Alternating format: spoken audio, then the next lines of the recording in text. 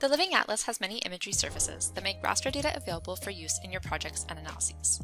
You can work with these hosted layers directly, but sometimes it's necessary to store our data locally.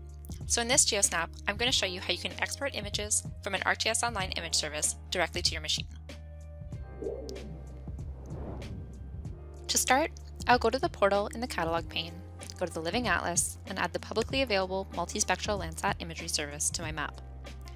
When the imagery service is added to the map, it has a processing template applied, in this case agriculture with dynamic range adjustment, which will apply to any of the exported images as well. The preset templates are great ways to visualize datasets, but since they only use some bands, they limit the available information from the image. Before exporting, I will remove the processing template and apply my own symbology. The image service is a collection of many images, so you can adjust how the images are composited and sorted. I will also play around with the display settings, but it isn't necessary to do so. Once I'm happy with how the image appears, I will right-click on the layer in the Contents pane, go to Data, Export Raster. In the Export Raster pane, set the output raster dataset to a local drive, and change the rest of the parameters as necessary.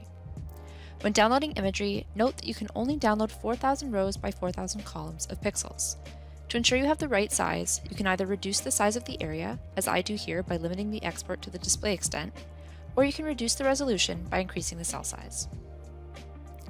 The pixel type refers to the type of values that can be stored by each pixel. Landsat data is stored as 16-bit unsigned pixels, so I will change that in the parameters to ensure a properly exported image. Once you are happy with the settings, hit export. When the export finishes, voila! You have a piece of the image service stored locally with all of its bands intact.